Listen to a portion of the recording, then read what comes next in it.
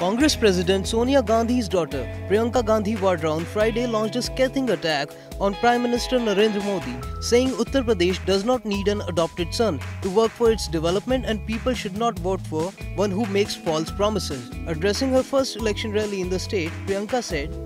मेरे मन में ये बात आई क्या उत्तर प्रदेश को बाहर से किसी को गोद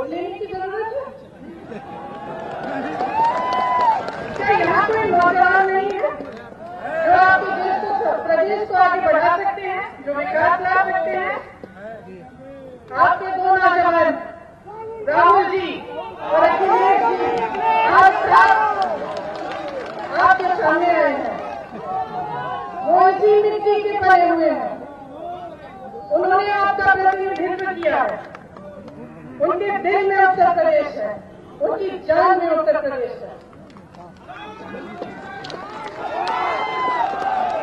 उत्तर प्रदेश को किसी बाहरी नेता की ज़रूरत नहीं है यहाँ का एक एक नौजवान नेता बन सकता है यहाँ का एक एक नौजवान इस प्रदेश का निर्माण करेगा नया निर्माण करेगा नया उत्थान करेगा नया विकास करेगा